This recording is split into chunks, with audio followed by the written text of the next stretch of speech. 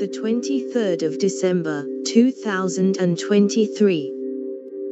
Rwanda, the main Conservative Party factions jostling for influence.